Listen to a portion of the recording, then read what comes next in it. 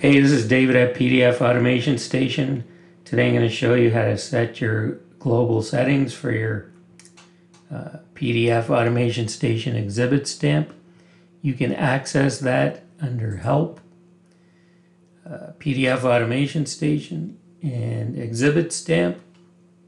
You can also access it in this custom toolbar button for the uh, exhibit stamp.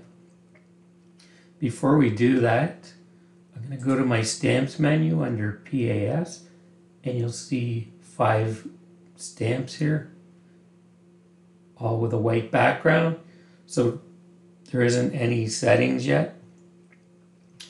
Um, you can set up five unique stamps. So we'll do two today. I'll do an exhibit stamp and an approved stamp, but you can do paid or whatever you want. And once you once you set your global settings, then it's here until you change it. So you can change these anytime you want, but there's five different ones, so it's pretty flexible.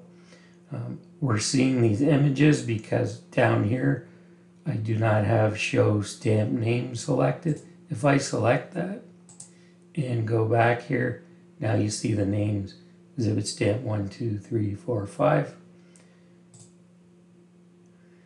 So let's go ahead and put some global settings here. Um, just click that. Let's, why don't we do a yellow background? And you can select any of these colors here. You can also select any color in the color picker I'll show you how to do that in, a, in another video. Leave the text color as black. This is your opacity or transparency. Default 100, which means it's not transparent at all. We can reduce that. If you went all the way to zero, it would be completely invisible. And you can go anywhere in between. There's three settings for the stamp author. This is optional. The default is the computer login. So if you don't do anything here, that's going to be your author for your stamp is the computer login. Um, you could also use the uh, the name from the uh, Adobe Identity, or you can select other and put whatever you want in there as the author.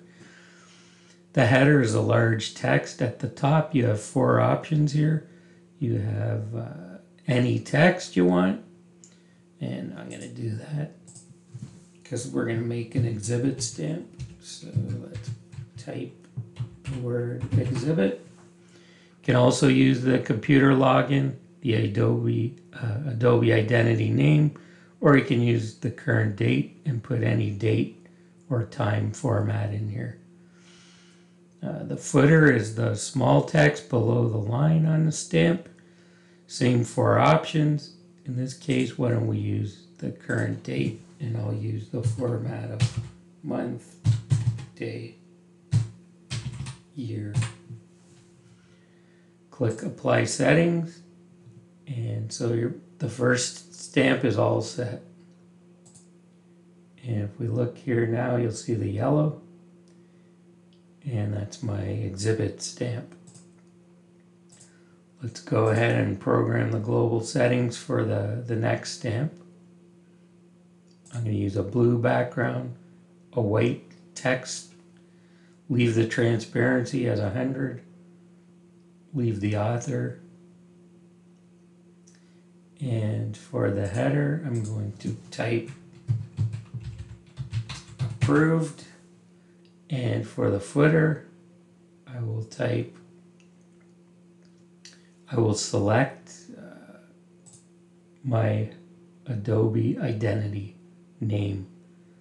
Click Apply Settings. And then you see my two stamps here.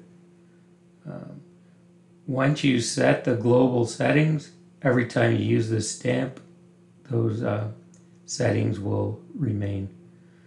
Um, there's also local settings which will pop up the first time you apply to the stamp to a specific PDF. So the local settings will stay with that PDF. The global settings will stay with that stamp. Um, next video, I'm going to show you how to select a, a background color that's not in that color picker. Um, thanks for watching.